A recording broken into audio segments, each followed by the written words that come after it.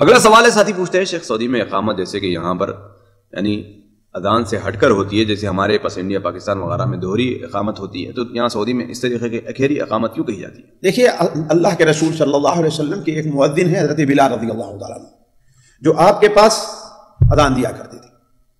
ان کی جو اذان اور اقامت رہی ہے، وہ اذان ڈبل رہی ہے کلمات،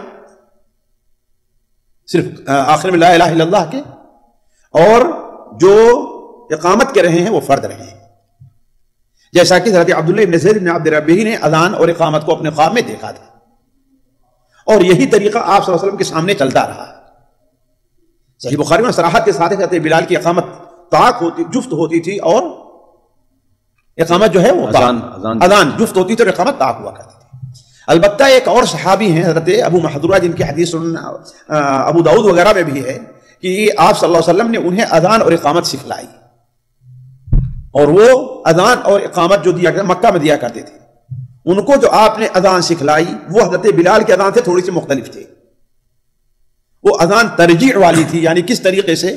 اللہ اکبر اللہ اکبر اللہ اکبر اللہ اکبر کہنے کے بعد اشہد اللہ الہ الا اللہ، اشہد اللہ الہ الا اللہ، اشہد اللہ محمد رسول اللہ، محمد رسول اللہ، آہستہ کہتے پھر اس کے بعد اشہد اللہ الہ الا اللہ۔ یعنی ان کی اذان میں چار کلمات زیادہ ہو جاتے ان کو اذان آپ نے ایسے سکھائی۔ یعنی جس طریقے سے یعنی اشد اللہ الہ الا اللہ بھی یعنی ایک معنوں میں چار مرتبہ ہو جاتا چار مرتبہ ہو گیا۔ اللہ اکبر کی طرح اللہ اکبر کی طرح جی۔ لیکن پہلے بار اشہد اللہ الہ الا اللہ اشہد اللہ الہ الا اللہ اشہد ان محمد رسول اللہ اشہد محمد رسول اللہ پھر اشہد اللہ عام اذان کی جو کیفیت ہوتی ہے اس کیفیت ہوگی۔ یہ اذان ترجیح والی اذان کہی جاتی ہے اور صحیح صنعت سے مروی ہے۔ یہ حضرت ابو محضورہ کی اذان تھی۔ اور اقامت جو آپ نے ان کو سکھائی ہے وہ ڈبل کلمات تھی وہ کیا تھے؟ کلمات ڈبل تھے۔ اللہ اکبر اللہ اکبر اللہ اکبر اللہ اکبر۔ اشہد اللہ الہ الا اللہ اشہد اللہ الہ الا اللہ اشہد ان محمد رسول اللہ محمد رسول اللہ۔ تو معلوم یہ ہوا کہ دونوں طریقہ آپ صلی اللہ علیہ وسلم سے زمانے سے وارد ہے۔ جی۔ رت بلال آپ کے جو معذر رہے ہیں ان کی اقامت بغیر ترجیح کے ان کی ادا بغیر ترجیح کے اور اقامت فرد ہوا کرتی تھی۔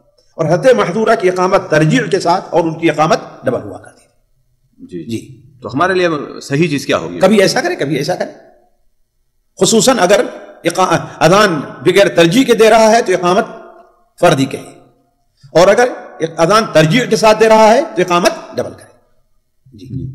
لیکن اس کو ضروری قرار دینا اس کے لیے کوئی دلیل نہیں ہے۔ کوئی دلیل نہیں۔ ضروری قرار دینا یہ غلطی ہے۔ نہیں نہیں مثال کے طور پر جیسے آپ نے فرق کیا کہ صحابی رسول صلی اللہ علیہ وسلم کو تو اللہ کے نے اسے سکھایا۔ لیکن کیا اس بیس پر ہم الگ کر سکتے ہیں کہ تم ایسے اگر اگر ترجیح کے ساتھ اذان دینا ہے تو تبھی اقامت تم یہ کہنا ہے نہیں تو سنگل کہنا ہے۔ نہیں ایسا الزام نہیں کر سکتے۔ اس لیے کہ الزام کی کوئی دلیل نہیں ہے۔ جی جی۔ صرف سکھا دینے سے یہ نہیں ہوتا لیکن اس سے پتہ چلتا ہے کہ اقامت کیا ہے ڈبل بھی ہو سکتی۔ ہے اس لیے کہ اقامت الگ چیز اور اذان الگ چیز۔ ہے جی۔ لیکن اذان کے بھی اقامت کہی جا سکتی ہے جانتے ہیں۔ ہے کہ نہیں؟ جی۔ تو زیادہ عمل کیا تھا صحابہ کرام رضوان اللہ علیہ مجمعین کا؟ صحابہ کے بارے میں نہیں آپ صلی اللہ علیہ وسلم کے سامنے جو معمول رہا ہے وہ یہی رہا ہے۔ آپ کے جو مؤذن آپ کی وجہ جو رہا ہے وہ حضرت بلالی کی اذان اور اقامت رہی۔ جی۔ اور زیادہ تر علماء بھی اسی طرف گئے ہوئے۔ جی۔ حتیٰ کہ امام محمد حنبل رحمہ اللہ جہاں تک مجھے یاد ہے کہ وہ حضرت ابو بہادورہ کی روایت کو قبول ہی نہیں کرتے۔ جی۔ جی۔ سامعین اکرام، ہمارے علمی اور عوامی دروس اور سوال و جواب کی مجلسوں سے آپ خود بھی مستفید ہوں اور اپنے دوست و احباب کے ساتھ بھی شیئر کریں۔ این ممکن ہے کہ آپ کے شیئر سے کسی کی اصلاح اور آپ کے لیے صدقہ جاریہ بن جائے۔ واٹس ایپ پر اسلامک میسج حاصل کرنے کے لیے نمبر نوٹ فرمائیں۔ Yaqub Aziz zero zero nine double six five zero eight nine five nine seven zero seven WhatsApp سوال جواب گروپ میں ایڈ ہونے کے لیے نمبر نوٹ فرمائیں. Abdussalam Umari, zero zero nine double six five zero two six two seven six double two. Number بھیجتے ہوئے نام اور پتہ ضرور لکھیں.